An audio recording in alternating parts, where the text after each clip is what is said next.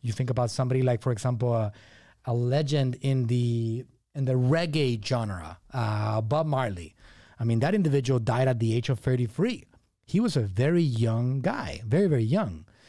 His content has been heard for 40 years after his death already. So if he produced music for 13 years of his life, maybe somewhere around 15 years, since he was a teenager to the age of 30 something, his content now, his music has gone throughout the entire world in the next 40 years at a scale that was a dream for him back then. That's immortalizing that content.